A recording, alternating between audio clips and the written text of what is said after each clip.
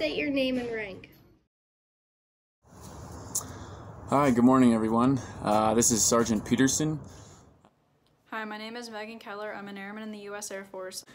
My name is Captain Matt Holder, and I'm an officer in the United States Marine Corps. My name is Colonel Todd Herneisen. Robert J. Dayhoff Sr., be private first class. My name is Latina Dorsey, and I attained the rank of E3, which is a Lance Corporal. My name is Corporal Snyder. What is your branch and why did you pick the branch that you joined? I'm a veteran of the United States Marine Corps. Uh, I served six years uh, within the Marine Corps. Upon initially going to the uh, recruiter's office, I actually uh, had decided to choose the United States Army uh, in following my older brother's footsteps. He was two years older than me. Uh, however, upon the arri arrival, uh, no one was there for the United States Army, and a fine uh, young man uh, in a Marine Corps uniform approached me. So I would say that the United States Marine Corps chose me.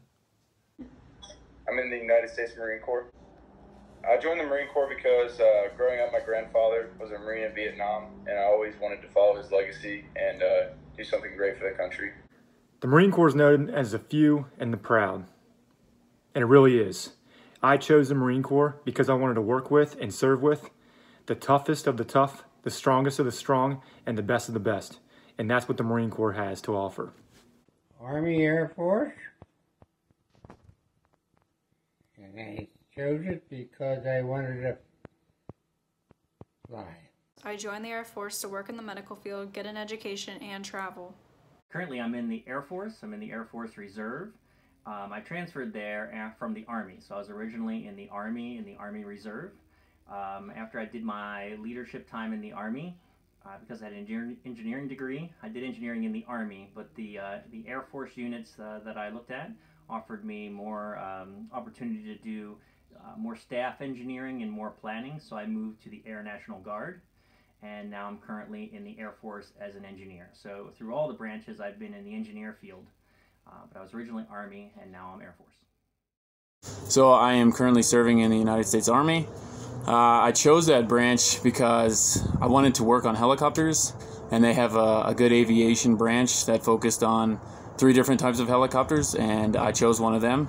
So that is my primary job in the uh, U.S. Army. Do you recall your first couple days in the service. What did they feel like? How did you get through boot camp? So boot camp in the Marine Corps is very tough. It's very challenging, but it's also it's very rewarding. So I knew as soon as I got there, it was going to be one of the toughest things that I have ever done. But to this day, it is still the proudest moment of my life, graduating and being commissioned in the United States Marine Corps as an officer. It is a phenomenal experience. Uh, those first few days are very long, um, very challenging physically and mentally.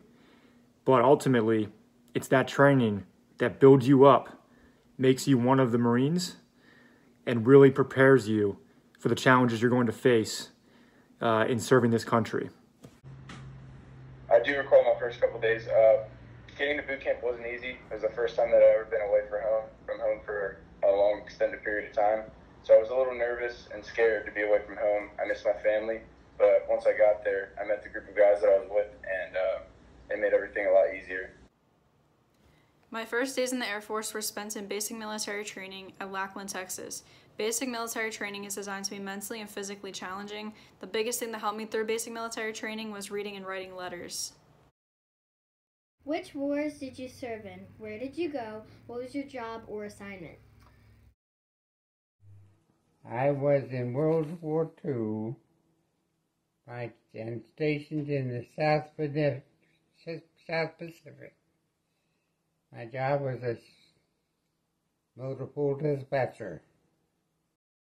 So I serve in the current war on terror. Um, I served uh, nine months in Iraq in 2018 to 2019. Um, and again, I'm Apache helicopter mechanic, so my main job is to focus on anything that breaks mechanically on the aircraft needs to be fixed as fast as possible, especially in a deployed environment.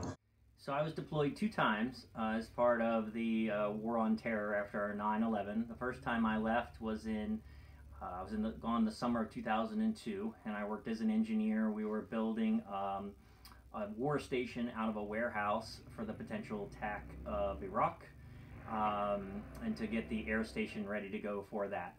Uh, then I, I did staff work for in the states for a long time, and then in 2009 uh, I went to Afghanistan. So I was stationed in Kandahar Airfield in Afghanistan, and I was the United States Master Planner for the airfield, which meant I went to meetings and I represented the United States um, in the coalition because it was run by actually the British and the Dutch. So I was the U.S. representative to make sure that our projects and our housing and our troops were taken care of. I was able to serve in Operation Desert Shield uh, around the time frame of 1991. Uh, a few years after that, under uh, our Commander-in-Chief, President George Bush. Please tell me about one of your most memorable experiences of being in the military. My most memorable experience was seeing those lights in San Francisco after being on the ship for several weeks. I would say the most memorable um, thing for me as I reflect on my uh, service with the United States Marine Corps is the overall experience of becoming a Marine, beginning as a young 17 year old African American female and being inducted into a uh, very uh, prestigious, uh, I would say, military branch. Uh, and becoming a part of one, a group of one, and it did not matter um, whether you were white or black, uh, female or male, we were all one. We were all considered green, and we operated as such. Uh, there were differences um, sometimes because we do live in a world uh, where there are people of different color and different genders.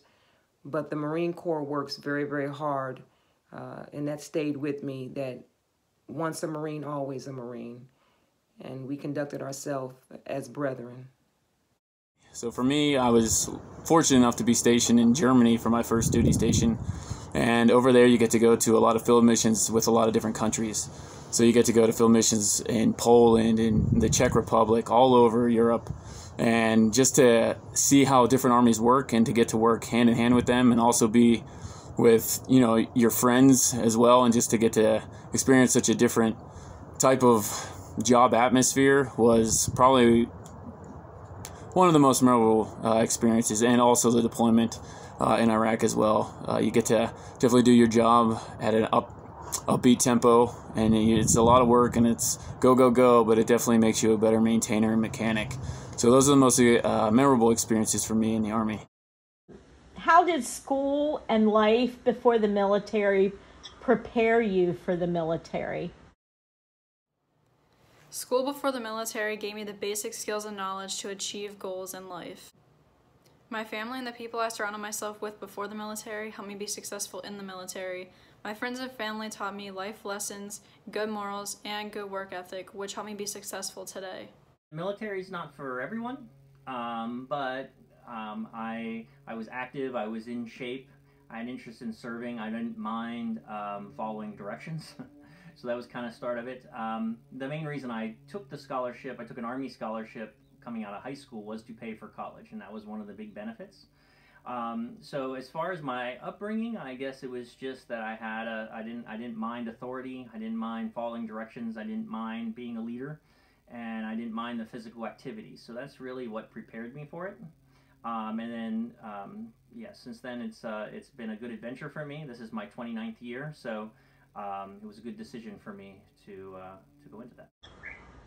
Well, in school, if you always listen to your teachers and you do what they tell you to do, they're looking out for your best interest. So military is kind of the same way. Everyone who is in charge of you is looking out for you, and they just want you to do the best possible thing that you can. So just always pay attention to your teachers and do well in school.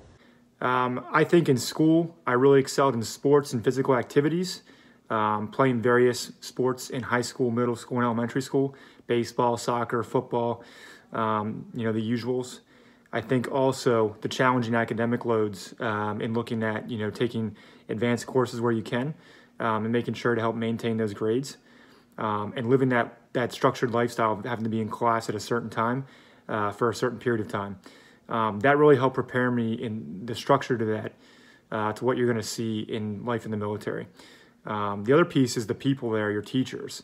Uh, they are phenomenal influences and, and can really help you and steer you in the right direction in whatever you're trying to accomplish.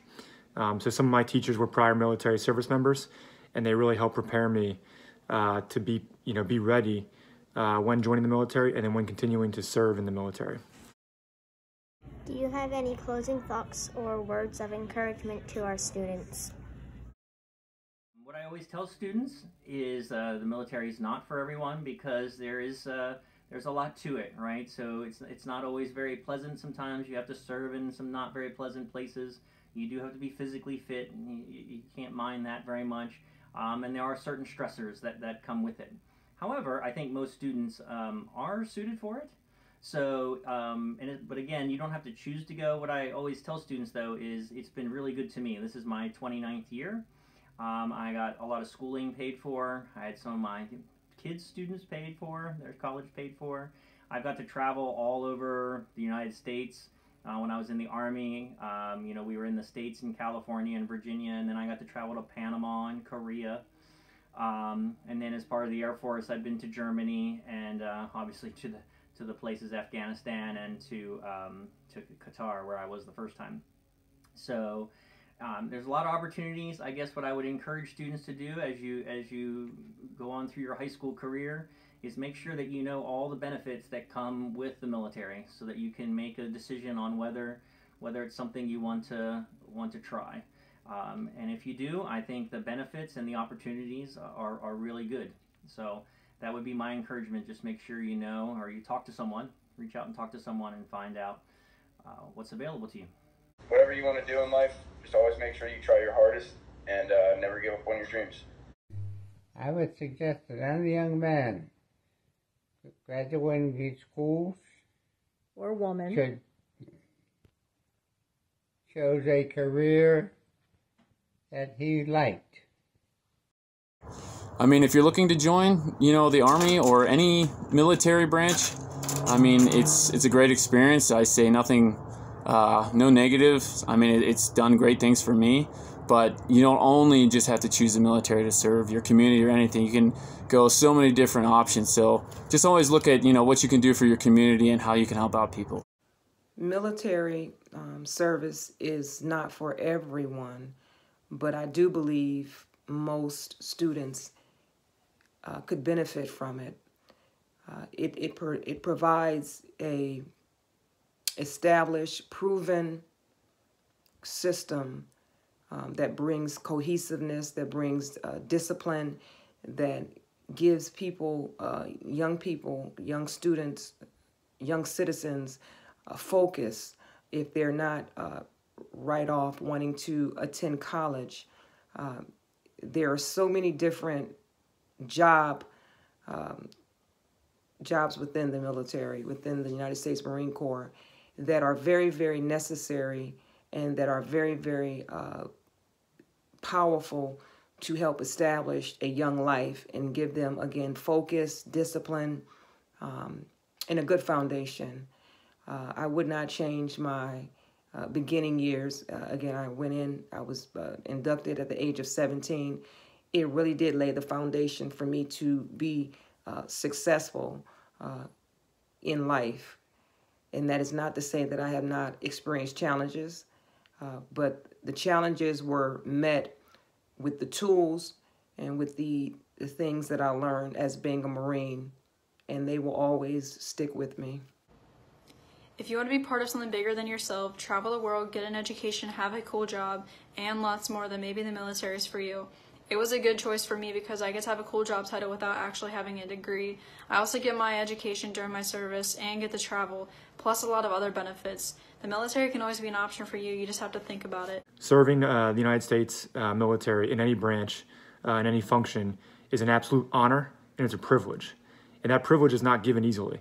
Um, so it is challenging, no matter which route you go, uh, to enter the service and continue to serve. Um, but ultimately, is is extremely rewarding, and it, is a uh, a very, very, very amazing opportunity for anybody uh, out there. Um, I continue to serve because I know that my future generations, my family, my future children, my future grandchildren uh, live in a free country. Uh, they have all the freedoms and liberties that the United States has to enjoy. Um, and, you know, if I've got to sacrifice a few things to continue to serve to protect that freedom and liberty, uh, I'm happy to do that as long as it takes. Dedication of the flag. My great grandpa Earl Leatherman is a veteran that served with the 101st Airborne in the United States Army. This group was known as the Screaming Eagles. They were known for the, their air assault operations. Earl served for four years. While serving, he was stationed between Knoxville, Tennessee, and then in Kentucky. My family and I are very thankful and grateful for his service and to everyone who served and continues to serve today. Raising of the flag.